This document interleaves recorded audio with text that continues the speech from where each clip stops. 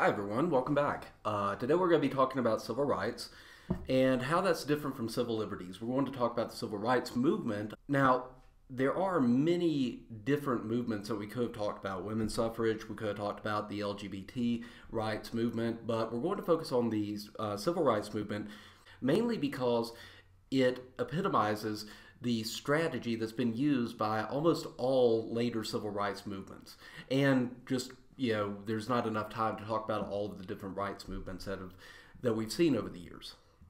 So, first of all, some background. When we talk about civil liberties and political science, this this is not the same as civil rights. As we talked about last week, liberties refers to freedoms in the Bill of Rights and other parts of the Constitution. When we talk about civil rights, however, we're talking about laws against discrimination. Uh, and all of these are based on the Equal Protection Clause in the 14th Amendment. So there is a deeply ingrained American value of equality, the notion that all men and women are created equal. And this is as much a political idea as anything. The idea is that your vote is equal to everybody else's vote, which is the basis for majority rule. Majority rule only makes sense if everybody has the same power. So everybody has one vote, everybody has the same voice, and you aggregate that together in a democratic country so that the majority, the will of the majority, is what will prevail. There are, in fact, a lot of different types of equality. We're going to talk about three of them. Two of them are going to be very, very important later when we talk about the civil rights movement and the legal strategy. So, first is political equality, which is simply that everybody's vote counts the same. Everybody has an equal uh, chance to vote and has the opportunity to vote, and everybody has an equal voice in government. There's also social equality, which means that everybody has an equal part of society. This was the defining feature of segregation in the South and also elsewhere in the country. Uh, this is what the civil rights movement was struggling to achieve. So it's the idea that everybody can live in any neighborhood they want, everybody can go to any school that they want to, and there's not different opportunities for people.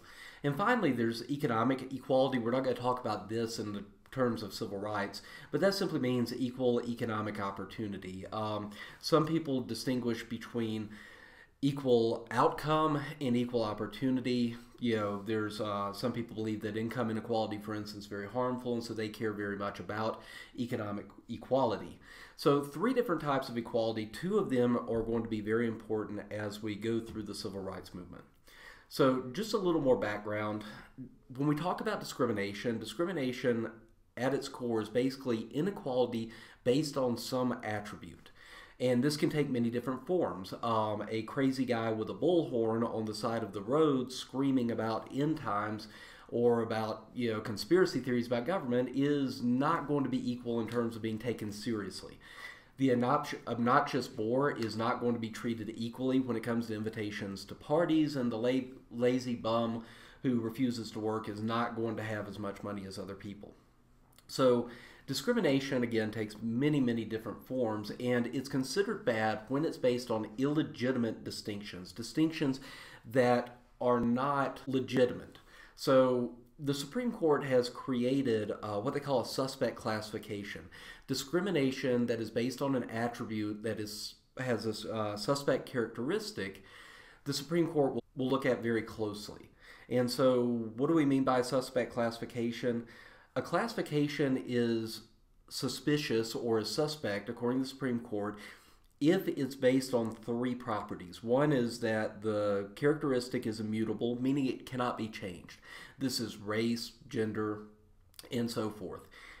There has to be a history of discrimination against that group, and the group has to be able to unable to affect change through public policy any classification that forms a basis for discrimination that has those three characteristics, the Supreme Court is going to look at very closely and in most cases not allow government to discriminate against people based on these uh, characteristics. The most common three suspect classifications are race, nationality, and gender. And the Supreme Court has created a three tiered system in terms of how it um, how it scrutinizes or how much scrutiny it gives to classifications based on race, nationality, and gender. Now, the highest level of scrutiny is strict scrutiny, and the Supreme Court usually uh, reserves that for racial discrimination.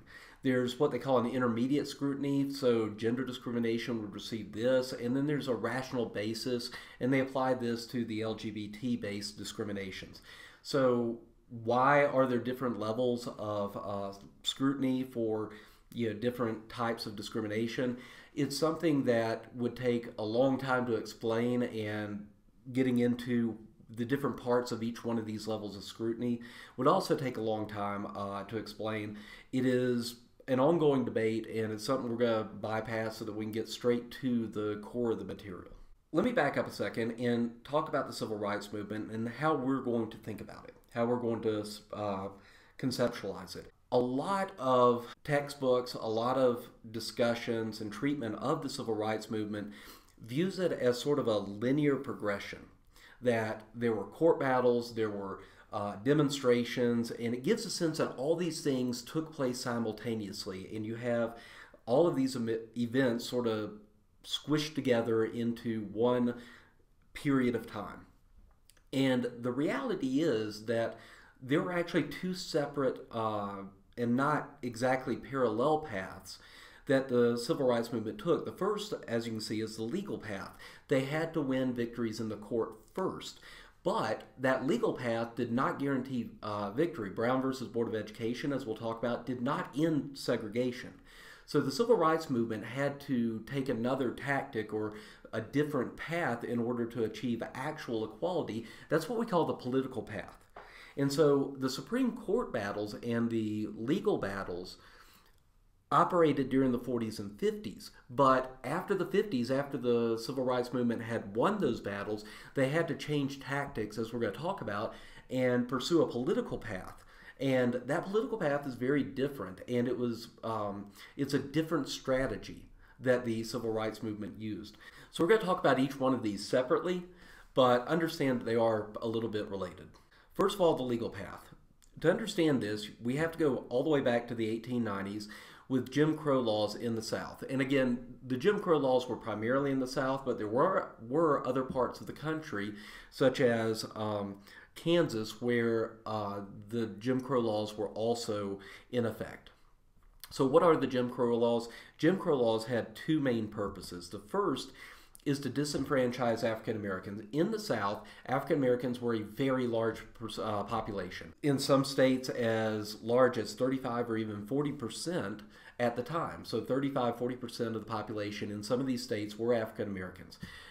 If African Americans were allowed to vote, they would have voted for different policies. And so the Jim Crow laws were also the second goal of them was to maintain the segregation of the races. Uh, segregation just simply means social separation. African Americans and whites, actually racial minorities of all types and whites, had different bathrooms, different water fountains. There were some restaurants and some neighborhoods where racial minorities were not allowed to uh, to, to go. Now, keep in mind that the first is a way to ensure the second. The reason for disenfranchising African Americans, from keeping them from voting, was in order to maintain segregation. If African Americans could vote, then they would vote for politicians who would end segregation.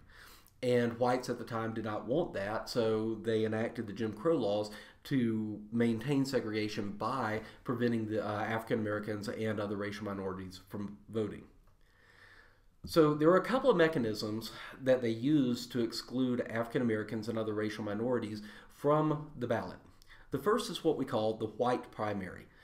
The law, a white primary means that only whites are allowed to vote in the primary. There are two elections that we have in America. The first is to choose the nominees for the parties, that's called the primary. And then the second election is a general election where Republican and Democrat are on the ballot. You choose between them, and whoever wins that election holds the office.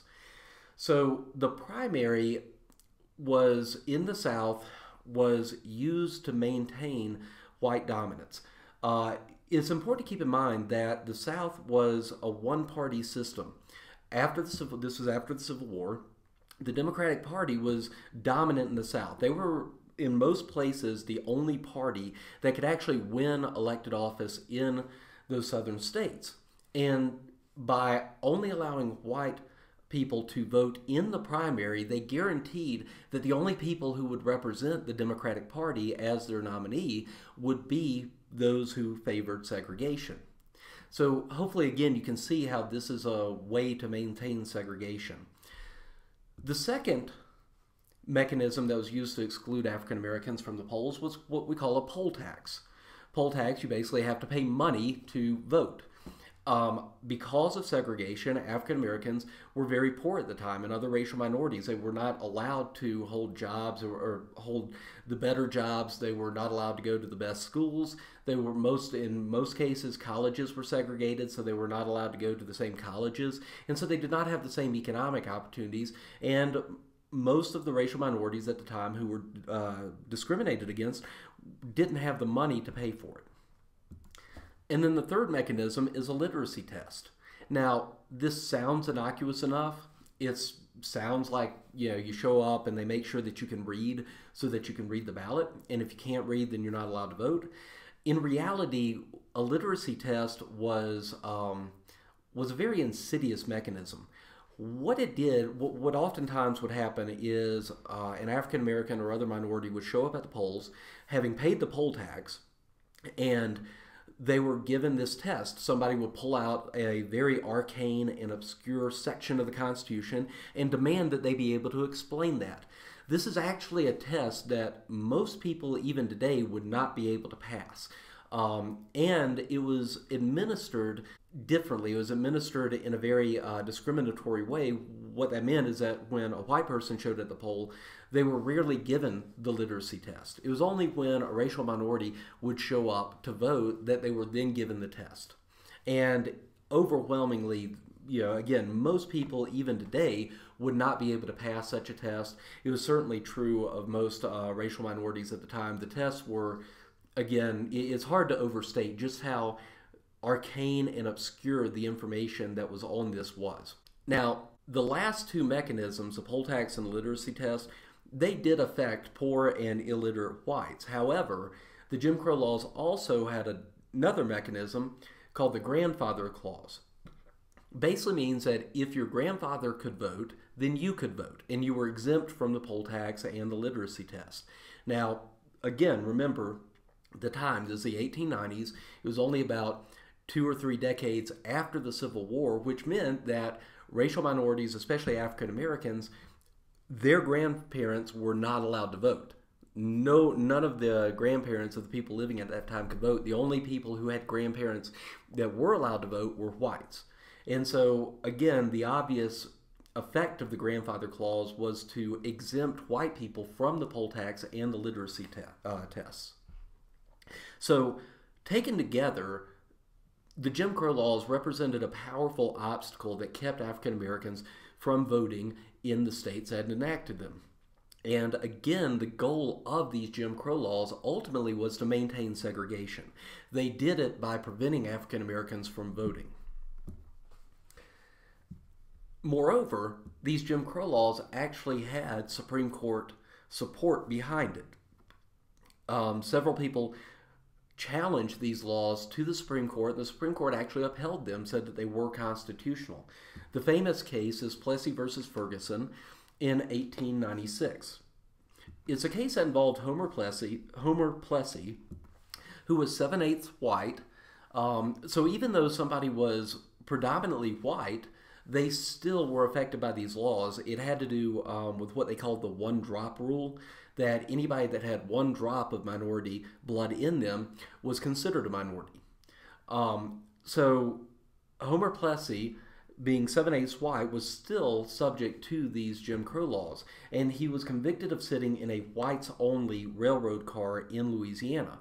There were white sections and uh, colored, what they call colored sections at the time. Uh, these two sections in the railroad cars, African Americans could not sit in the whites only uh, cars. So there was segregation even in public transportation. Homer Plessy went and sat in the whites only railroad car, arrested, convicted of uh, violating the law, and took the case all the way to the Supreme Court. and the Supreme Court upheld it. What they said is that the Equal Protection Clause of the 14th Amendment only refers to political equality. In other words, voting. So, as long as laws allow everybody to vote, then laws that reflect this, what again, I'm, this is obviously a very racist uh, opinion by the Supreme Court. I'm simply articulating their argument. What they said is that laws that reflect the social inferiority of African Americans um, are actually allowed, that only political equality must be respected. Now, when we use the term racist, this is a classic definition of racism. The idea behind separate railroad cars or separate areas is that whites are, as a race, are inferior to African Americans.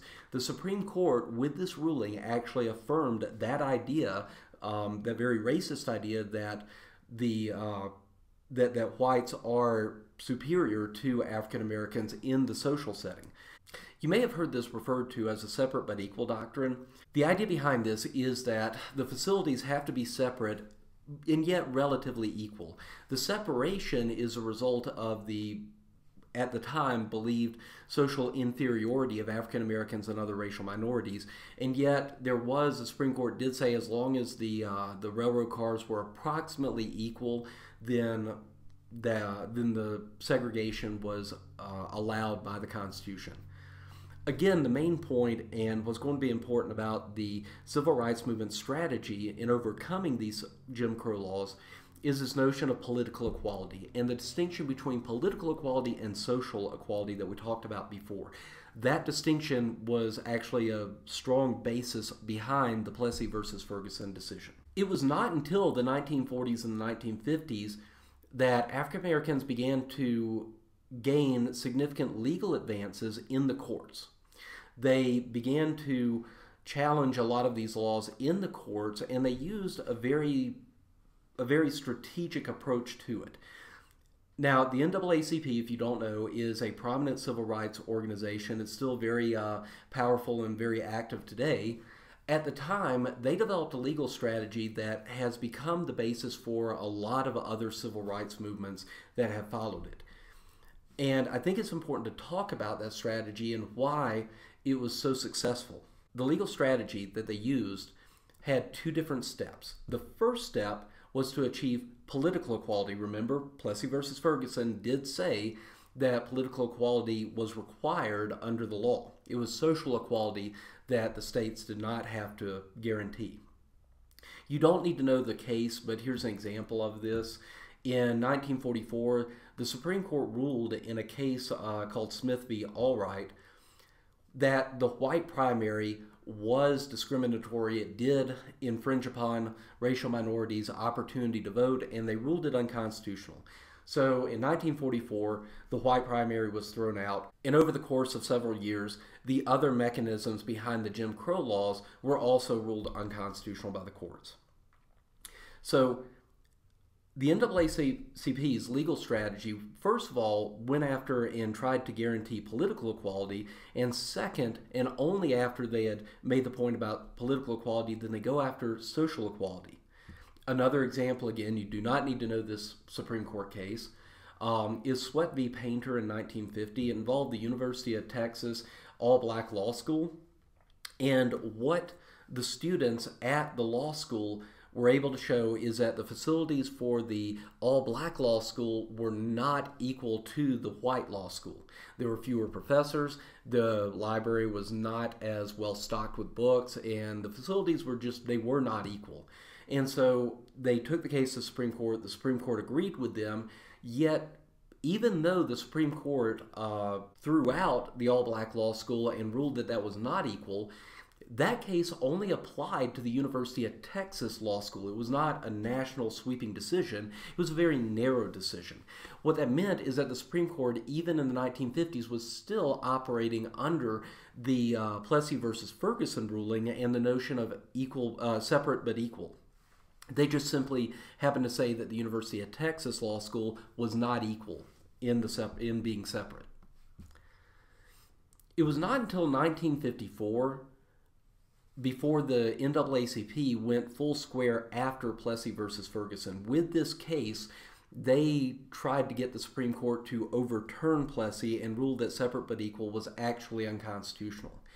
And they did this by making a class action lawsuit. Class action simply means that it represents all citizens. There's a large group of citizens who are affected by the government policy, and the case was brought on behalf of all of those uh, all of those people.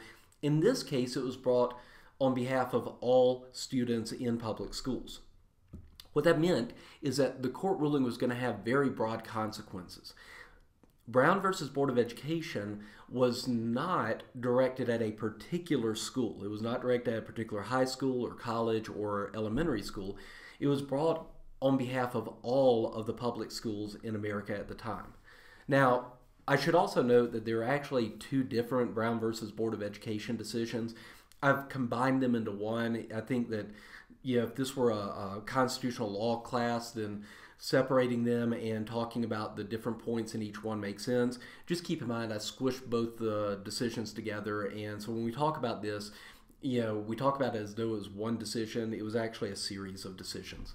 And in fact, the Supreme Court, with Brown versus Education, eliminated the separate but equal doctrine. And they ruled that schools must desegregate, quote, with all deliberate speed.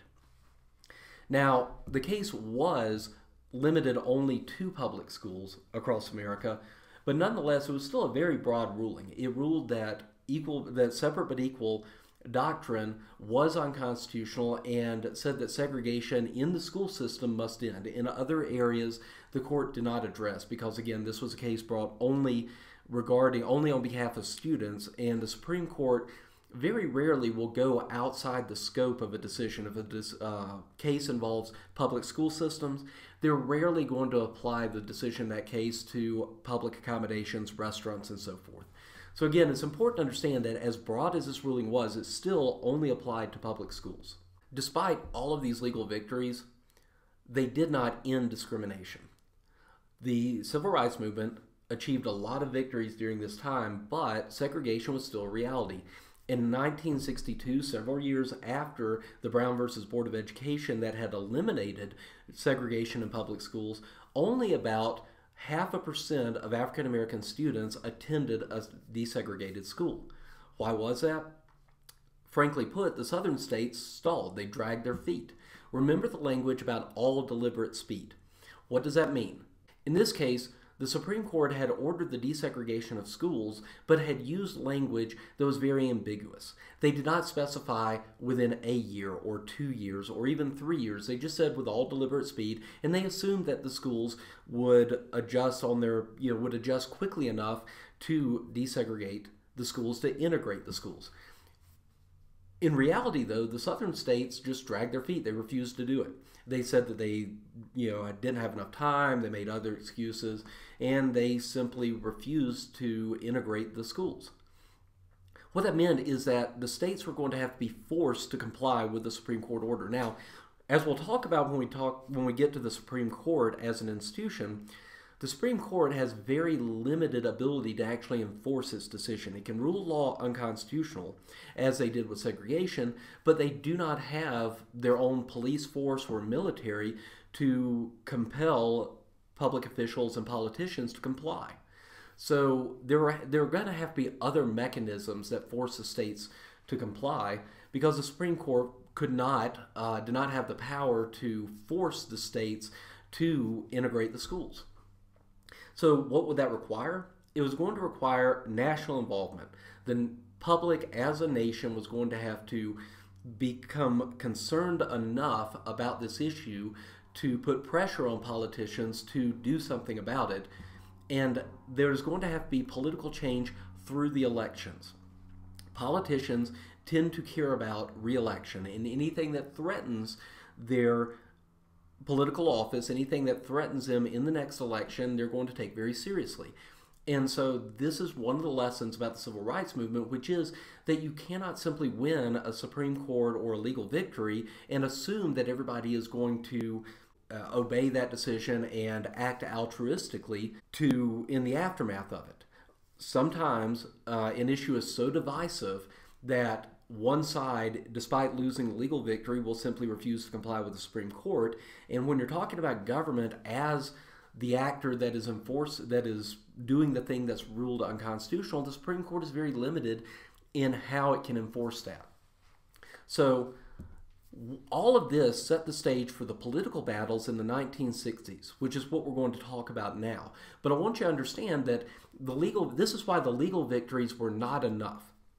That yes, the Supreme Court had ruled that segregation was unconstitutional, but again, the states simply refused to obey that uh, command or that order from the Supreme Court, and therefore the civil rights movement, having won those legal victories, we're going to have to pursue a political path and a political strategy in order to get segregation ended in reality.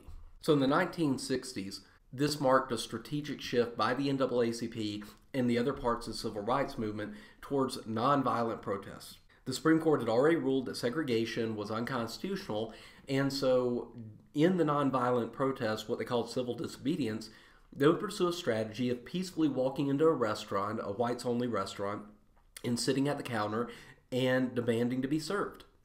And they realized that this was going to be controversial. They realized that the reaction in many cases would be violent. But nonetheless, the nonviolent protest strategy they felt was the best way to achieve it. Now, I should point out this was not a universal uh, decision that this was there was actually debate about whether to have armed protests or riots, and there were indeed some violence and some riots by those who protested segregation. But as a whole, the civil rights movement coalesced around the idea of nonviolent protest as the best strategy for achieving the political uh, path and the political gains that they needed to achieve. Hopefully, everybody under, uh, remembers from high school and middle school history that they rallied around a uh, major leader, Dr. Martin Luther King Jr. He had he was the one that coordinated the Montgomery bus boycott. Montgomery is a city in Alabama, and um, he encouraged African Americans as a way to protest the segregated areas on the buses to boycott the buses, to not use the buses, and to show the city how much revenue African Americans provided to the public transportation system. Without that money, the revenue from the public transportation, the buses, would hurt the companies and hurt the government. And so they wanted to put that pressure on them, again, with a nonviolent, peaceful protest. They created the Southern Christian Leadership Conference and they got a lot of resources from churches and other clergy. Remember that Dr. Martin Luther King Jr. was also a reverend. Why was this important? Because churches have a lot of experience organizing. And any type of protest, any type of political strategy is going to require a lot of organization and a lot of skills at getting a lot of people together for the same purpose, for either a march or a boycott. How much organization something like that is going to require. Coordinating large groups of people for a common purpose is something that these churches had a lot of experience doing. And finally, having won legal victories for voting rights, having gotten access to the ballots, the civil rights movement was going to start using that political power in order to change policies. Now, again, the major point of all this, hopefully you remember a lot of this from uh, your history classes in high school or middle school. The main part here is the nonviolent protest as a strategic shift, and more importantly, the strategic shift from a legal a legal strategy in the courts to a political strategy. So let's fast forward to the 1963 Birmingham demonstration. There were a lot of demonstrations, there were a lot of marches, there were a lot of protests. I chose the 1963 Birmingham de demonstration to illustrate the strategy behind the civil rights movement. Birmingham was not chosen randomly. As a city, there were a lot of cities in the South where people could have protested. They chose it, though, because the police commissioner, a man by the name of Eugene Bull Connor, was a notorious racist and a bigot. I'll illustrate in a few minutes uh, exactly how bad this guy was, but this was a bad dude. This was not a good person. What that meant is that the civil rights movement and the protesters knew that the city response was going to be a violent crackdown, that the police were going to show up, that they were going to beat people up, they were going to react very violently. And the civil rights movement having understood that and expecting that response, had the media there to film everything and to take pictures and to report on in the newspaper.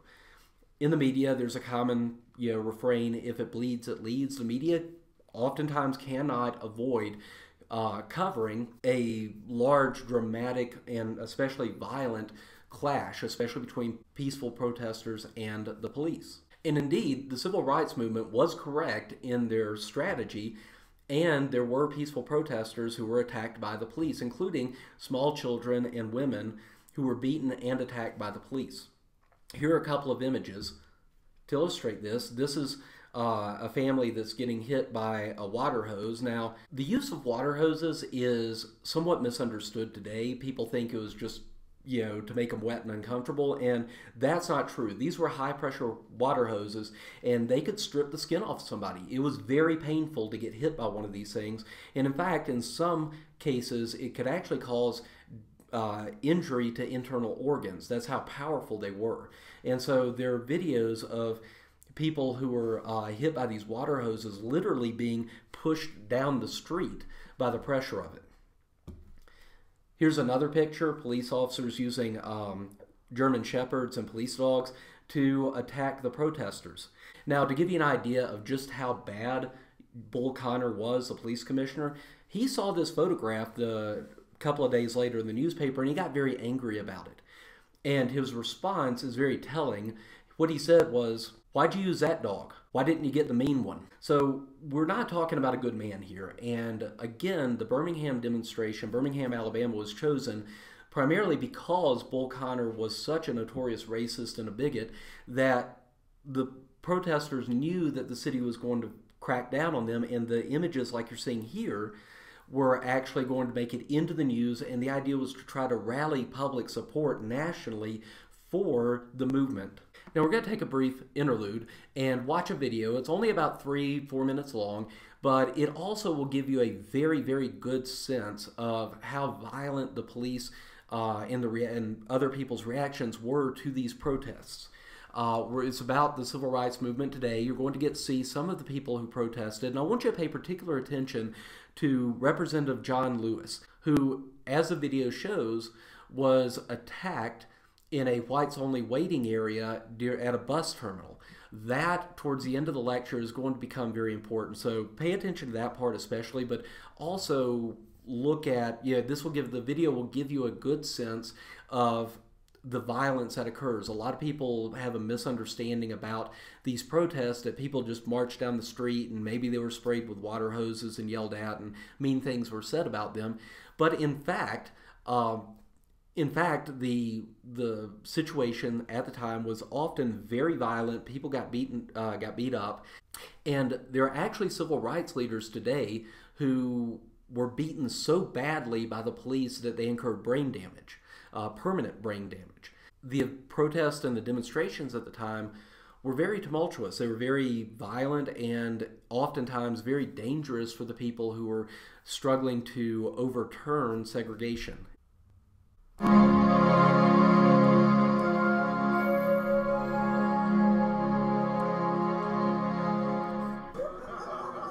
these original Freedom Riders are getting off a bus in Washington for an event to honor them.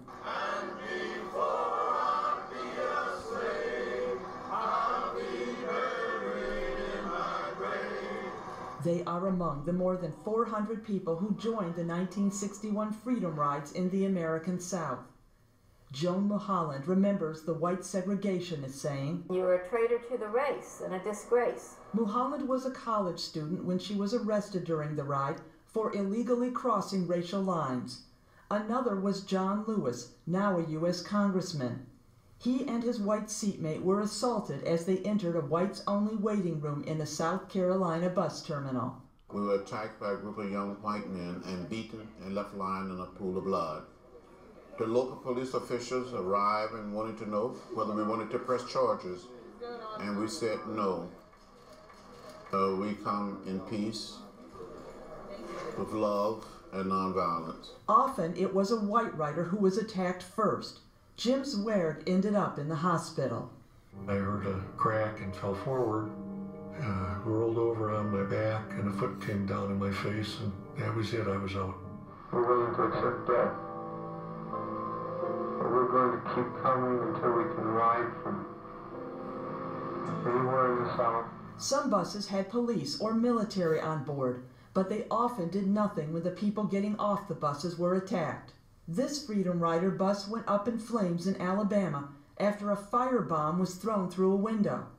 Hank Thomas remembers the terror he felt. As it, the bus was burning, we all had a decision to make, and that was do you still try to get off the bus and go into the mob where you were certainly going to be beaten to death? As the riders escaped from the bus, they were viciously beaten, but no one died. Despite calls by government officials for the freedom rides to stop, Diane Nash, a student civil rights leader, says the movement was not giving up. It was clear to me that if we allowed the freedom ride to stop at that point, just after so much violence had been inflicted, the message would have been sent that all you have to do to stop a nonviolent campaign is inflict massive violence. As the rides continued, more activists were jailed for violating segregation laws, especially in Mississippi. Some were crowded into small cells and got no exercise. Bernard Lafayette Jr. says when the prisoners refused to stop singing freedom songs, mattresses, sheets, and toothbrushes were taken away. Buses are a comin', buses are a comin', buses are a comin', oh yes. Civil rights leader C.T. Vivian rode on the bus and says the Freedom Riders brought hope to blacks in rural areas of the South who later formed the backbone of the civil rights movement. Their hopes were on us, you know, and we were supposed to, in fact, do what we're doing and to make it so that one day their children wouldn't have to put up with what they put up with. The efforts of the Freedom Riders paid off. At the end of 1961, the U.S. government banned segregation at interstate travel facilities and on interstate buses and trains. Deborah Block, VOA News, Washington. Okay, so hopefully that gives you an idea about the turmoil and the violence that was going on at the time. In fact, after a series of several of these protests, the brutality actually did lead to a public outcry. The strategy worked. Shortly after the Birmingham demonstration, President Kennedy gave a TV appearance and he talked about discrimination as a moral issue. It was the first time that politicians, especially national politicians, had come out and talked about discrimination in that way. And so his television appearance was not simply to promote uh, the end of segregation, but he talked about it in moral terms, which changed the national debate. He also proposed new civil rights legislation, and shortly after, he was assassinated. All of this led up to the 1964 Civil Rights Act. Now, in the Senate, the Southern Democrats actually filibustered the Civil Rights Act. What that means is that in the Senate, there's a mechanism called the filibuster where any senator is allowed to talk for as long as he or she wants. And so the Southern Democrats got together in the Senate and they held up the legislation. There's a famous filibuster that lasted somewhere between 10 to 12 hours. One person stood on the floor of the Senate and talked. Until the filibuster ends, the legislation cannot even receive a vote. So the Senate could not even vote on the Civil Rights Act until the filibuster ended. President Johnson, who replaced President Kennedy, broke the filibuster and importantly was able to get the Civil Rights Act of 1964 passed. He was uh, President Johnson was a former senator, had strong relations in the Senate, and was also very influential. And so, having broken the filibuster, they passed the 1964 Civil Rights Act, and the act ended racial and gender discrimination.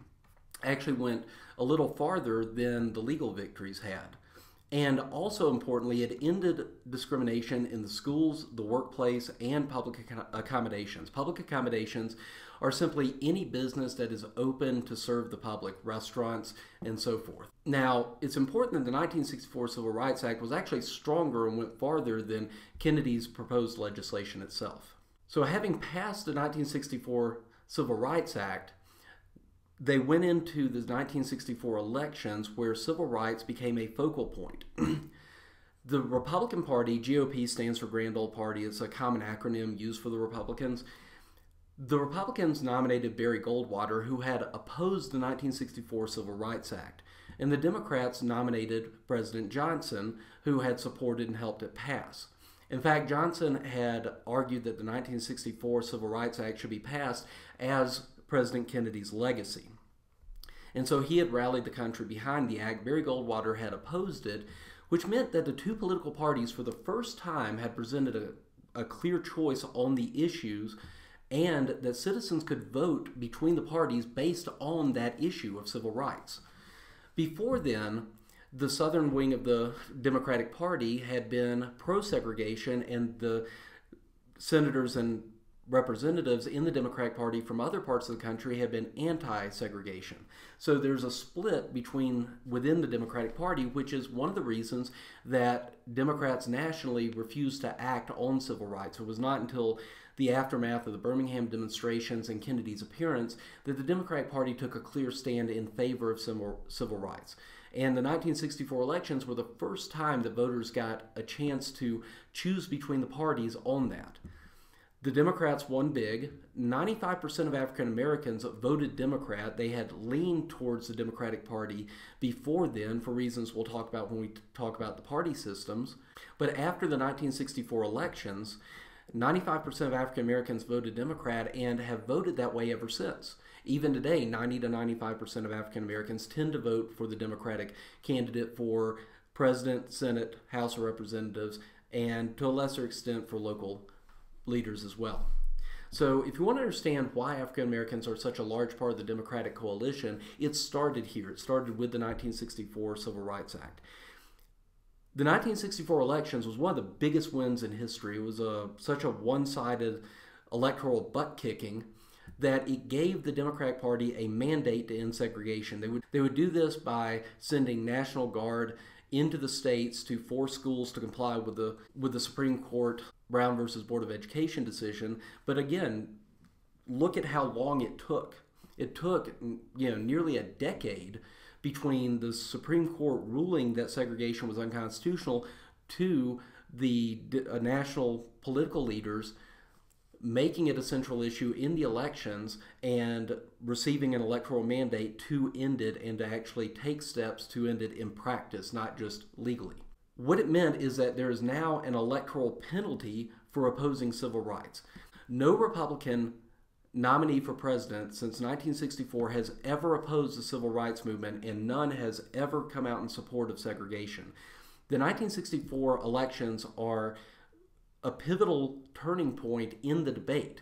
Before, you did have some national politicians who supported segregation and others who opposed it.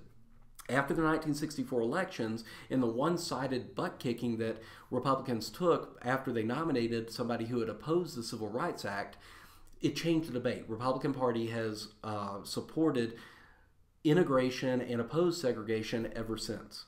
Now, the parties still will do have differences in terms of racial policies, especially things such as affirmative action. But this election, again, is very important because it effectively ended the debate about segregation. And the other important thing that the 1964 elections show us is that a political solution is often required for deeply divisive issues. What that means is that the Supreme Court ruling on an issue such as race and segregation is often not enough. As we talked about, states and local governments will often just refuse to obey the Supreme Court ruling. However, if there's a political penalty to be paid for that opposition, then it will often that's what's required to change the national debate and to get you know reforms and change in reality. So again, the 1964 election really highlights the need for the civil rights movement to have pursued a political path to ending segregation and not simply stop after they won in the Supreme Court. So let's sum up the lecture on civil rights basically the lawsuits and the legal path only went so far. we talked about federalism, and the nature of federalism means that it's very hard for the Supreme Court to implement or enforce its rulings. The federal government and federal politicians often need an electoral incentive to intervene, and in this case, they needed a public outcry in reaction to the demonstrations and the public or the police crackdown on those demonstrations in order to incentivize them to take action. The demonstrations, as we talked about, created the public demand for the federal action, and the 1964 elections created that electoral penalty. That prompted the federal government to finally get involved in end segregation in practice. Afterwards, again, both parties supported ending segregation, and that debate was effectively ended once it was very clear that any politician that supported segregation would be thrown out of office. And that became uh, 10 years after the 1964 elections. It had an effect not just in changing the policy at the federal level, but also changing the debate and the policy positions of politicians down to the local levels. So that's just to wrap it up. That's I think the major story behind the civil rights movement is that it was very strategic. It was a very smart strategy that they pursued, and it was a long, hard fought victory. It was not something that happened quickly. It was not something that happened just because a few people went out on the streets and you know marched through the city to oppose these policies. It took a lot of time to change the nature of the Supreme Court rulings from Plessy versus Ferguson to the Brown versus Board of Education. It was very strategically targeted at those mechanisms in the Jim Crow laws that kept African Americans from voting. Once those laws were overturned by the Supreme Court and African Americans began to be able to actually vote and express their political power that they had gained, they were able to shift to a political strategy to pressure politicians via public demands and public outcry following the violence surrounding the demonstrations, and to finally create a situation where the two parties presented a clear view on the issue of segregation in the Civil Rights Act that allowed the public to settle the issue once and for all. So again, following the 1964 elections, they were very pivotal in changing the debate and shifting the national policy from areas where segregation was supported and existed to actually ending segregation in practice.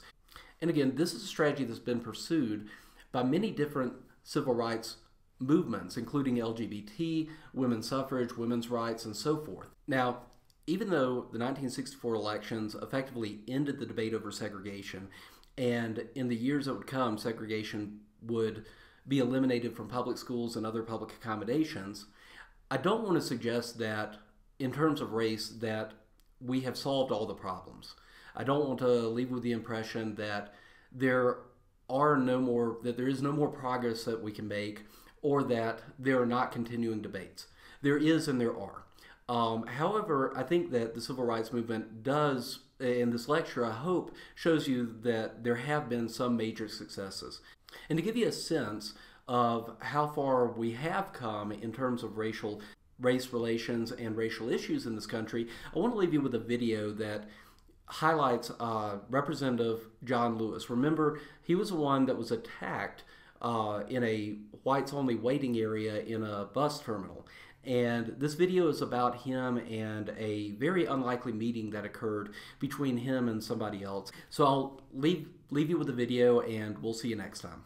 An unlikely reunion for these two men Congressman John Lewis and Elwin Wilson. They didn't even know the other's identity. They met, if you can call it that, 48 years ago. In very different times, in a blur of angry fists and proud protest. Lewis, then a freedom rider for Dr. King, arrived at the Rock Hill, South Carolina bus depot May 9, 1961, and was pummeled by Wilson, who for years has been working his way toward this moment. I'm sorry for what happened down there. Well, it's okay. It's all right. It's almost 48 years ago. That's right. Yeah. So remember that day well? I try to get it out of my mind. Mm-hmm. Did you ever imagine this moment? I, I never thought that uh, this would happen. It says something about the power of love, the power of grace, and the power of people to be able uh, to say, I'm sorry. I feel like I got saved out there. Going back those 48 years, not easy for either of them. We uh, tried to enter a so called white waiting room, and the moment we started through the door, a group of young men attacked us. You helped beat up Representative Lewis. Help. I didn't have no help. It was you, it was yeah, all you. Yeah.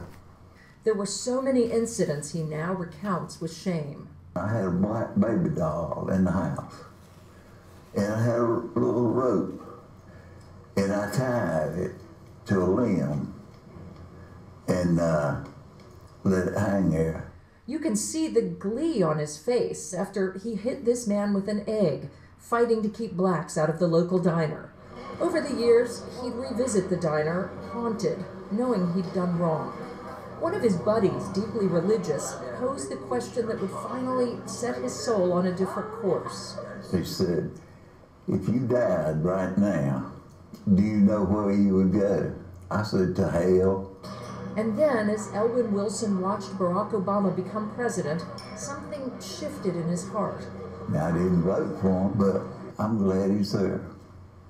And I prayed for him.